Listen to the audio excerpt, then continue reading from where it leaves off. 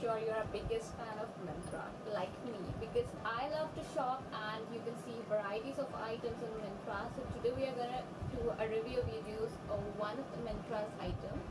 So I have bought this purse recently from Myntra. The brand name is DressBerry and what I'm going to do a review and I'm going to tell you what I really li like about this purse and what are the advantage of buying it.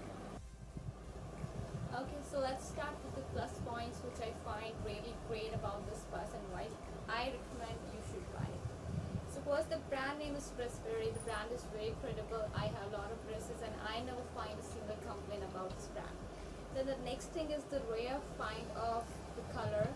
This color is like very classy. It's very trendy these days and you know the cloth of this purse it's not very light material it's very you know tough it is having the it can maintain the integrity of this bag and the of it if you keep anything like mostly girls these days love to carry and love to wear makeup a lot. So it's the perfect combination for this because you know when you open this bag it contains a small compartment within this where you can carry all of your makeup items and rest you can keep aside.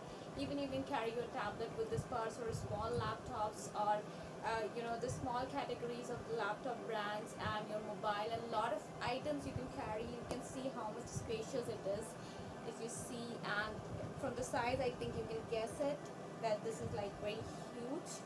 And the next thing is the car the carrying option of it. You know you can carry it in hand and it is having this golden um, handle which gives it perfect carry and the look it gives the finishing look it gives is really awesome. And then you can carry or maybe you can carry it like this if you have few more items. And you know the look it gives is like really classy and nice. And that's why I recommend you all go check out Myntra and buy this DressBerry product. I really love this and I'm sure you